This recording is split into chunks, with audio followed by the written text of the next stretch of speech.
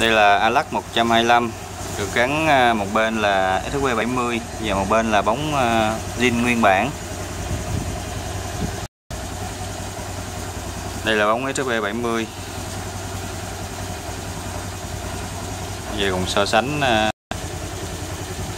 là che lại bóng zin nè. Che lại bóng led.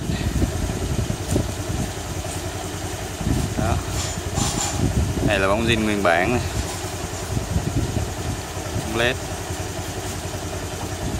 Báo pha. Che lại rồi nhưng mà không. Đó. che một bên.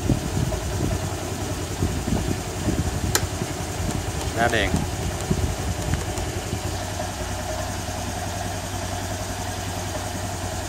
P70 khi mà lắp cho chóa thì ở chế độ cốt thì nó không có gây chói. Chỉ khi nào pha lên mình mới chói thôi. Ánh sáng nó cắt rất là chuẩn.